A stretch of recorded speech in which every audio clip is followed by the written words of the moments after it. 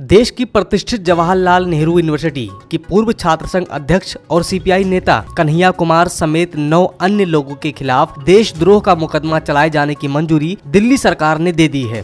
इसके बाद ट्विटर पर अब लोगों ने प्रतिक्रियाएँ दी। इसमें कुछ लोगों ने केजरीवाल सरकार को घेरा है तो कुछ केजरीवाल के समर्थक ही केजरीवाल सरकार पर सवाल खड़ा कर रहे हैं। इस मामले को लेकर दिल्ली बीजेपी के नेता और दिल्ली सरकार के पूर्व मंत्री कपिल मिश्रा ने कहा कि केजरीवाल को आखिर टुकड़े टुकड़े गैंग की फ़ाइल को पास करना पड़ा। आज ही जेएनयू स्टूडेंट यूनियन ने केजरीवाल के खिलाफ प्रोटेस्ट किया और गुस्से में केजरीवाल ने यह फ़ाइल क्लियर कर दी। इससे साफ़ है कि यह काम कितना आसान था और केजरीवाल जानबूझकर इतने लंबे समय से देशद्रोहियों को बचा रहे थे।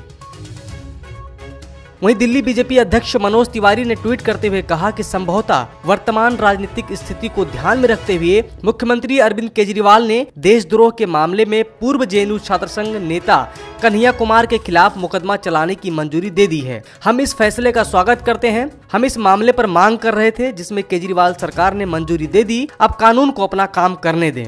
हालाँकि सबसे चौंकाने वाला बयान आम आदमी पार्टी और केजरीवाल समर्थक का सामने आया। विशाल ददलानी। जो आम आदमी पार्टी के कट्टर समर्थक माने जाते हैं उन्होंने केजरीवाल के इस फैसले पर दुख जताया है। डडलानी ने ट्वीट करते हुए कहा कि आम आदमी पार्टी ने सरकार की गलतियों की आलोचना करने वाले लोगों के रूप में शुरुआत की। आपके अधिकांश समर्थक अब भी वही लोग हैं और अब भी वही काम करते हैं।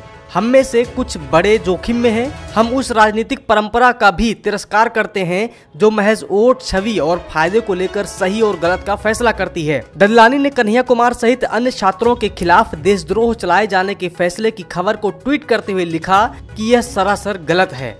केजरीवाल से नाराज़ डडलानी ने कहा कि कन्हैया कुमार गिरफ़्तार होने से पहले क्या कह रहा था?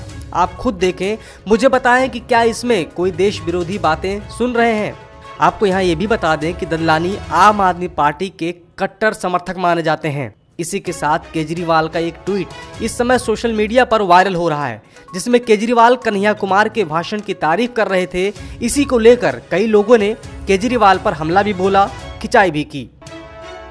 दरअसल दिल्ली में हुई हिंसा में आपके समर्थक का नाम आने से कहीं ना कहीं आम आदमी पार्टी को छवि खराब होने का डर भी सता रहा होगा। वजह जो भी रही हो कन्हैया कुमार पर मुकदमा चलाए जाने की मंजूरी दिए जाने से कुछ लोग केजरीवाल के इस फैसले का सम्मान कर रहे हैं तो कुछ केजरीवाल पर ही हमला बोल रहे हैं।